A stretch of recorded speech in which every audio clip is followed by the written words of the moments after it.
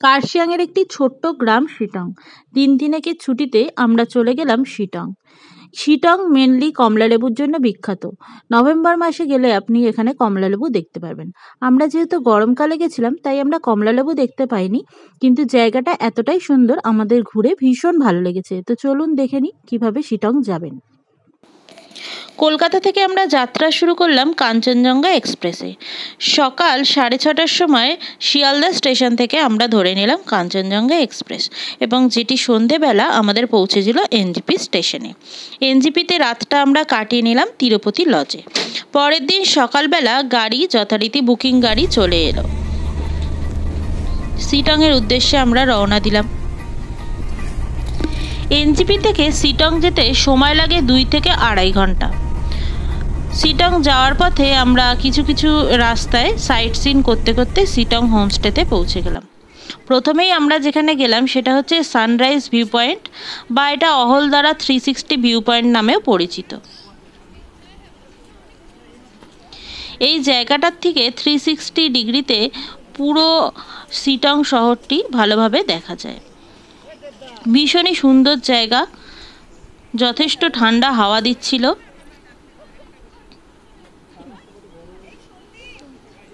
এটা সিটং ভ্রমণের একটি বিশেষ আকর্ষণ এই জায়গাটি।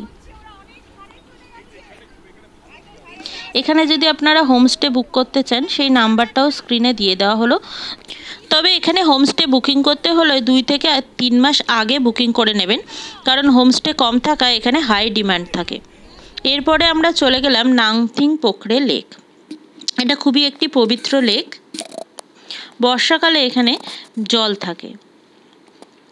এর পাশে যে জঙ্গলটা আছে, সেখানে হিমালয়ান স্যালামেন্ডার দেখা যায়। এটি একটি ডাইনোসর যুগের প্রাণী।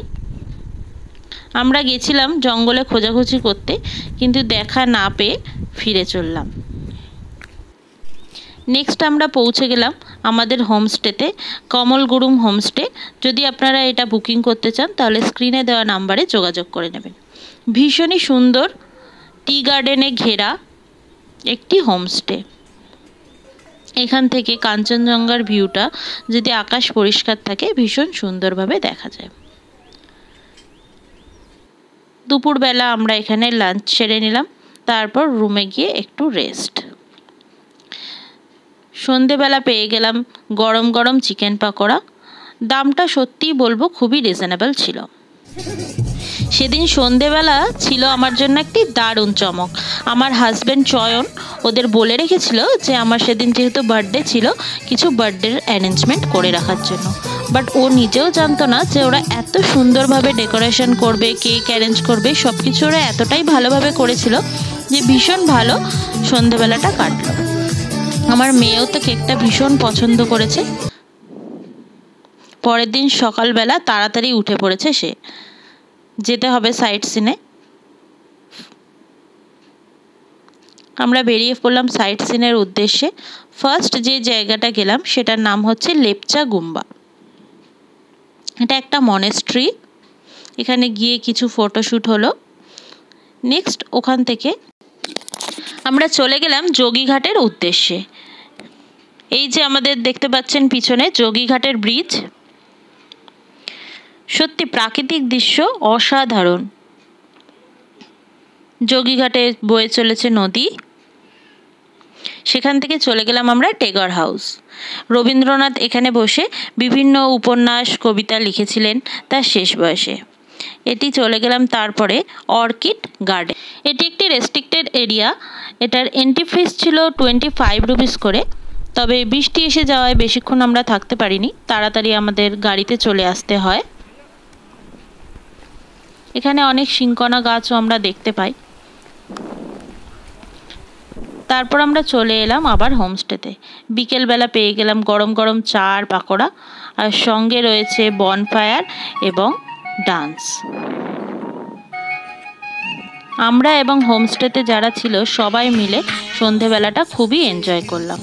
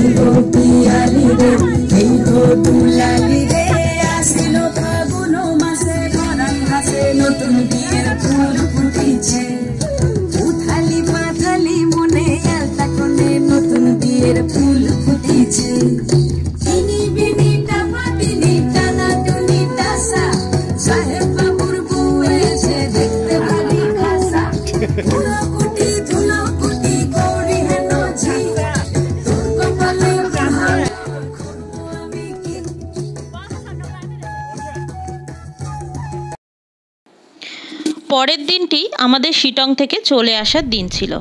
কিন্তু সেই দিনটি ছিল খুবই রোদ, ঝলমলে আকাশ এবং সকালবেলা সাড়ে ছটার সময় উঠেই প্রথম যার মুখ দেখলাম, তিনি হচ্ছেন আমাদের কাঞ্চনজঙ্ঘা, নর্থ বেঙ্গলের মেন আকর্ষণ।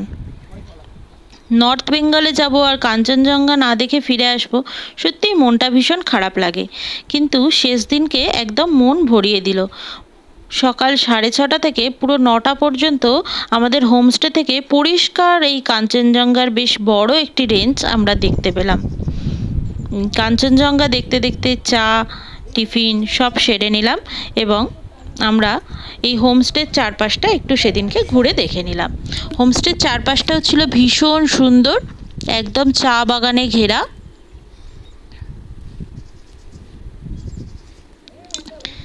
দেখতেই পাচ্ছেন জায়গাটা এতটাই সুন্দর যে অন্য কোথাও সাইট সিনে যাওয়ার প্রয়োজনই পড়বে না।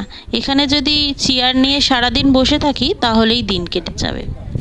ভীষণ সুন্দর জায়গাটি।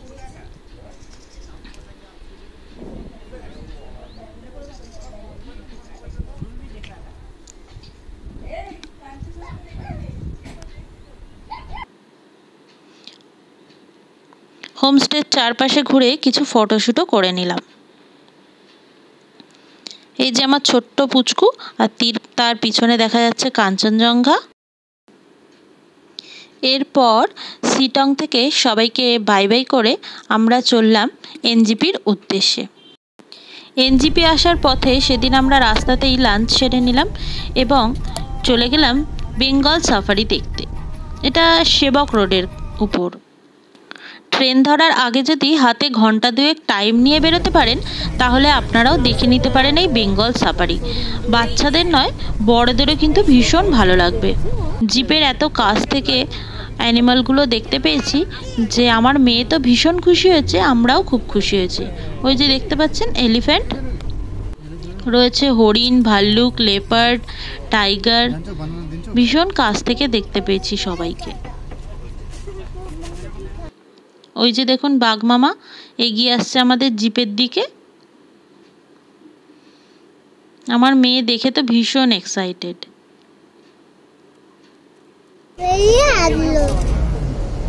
কতগুলো বাঘ?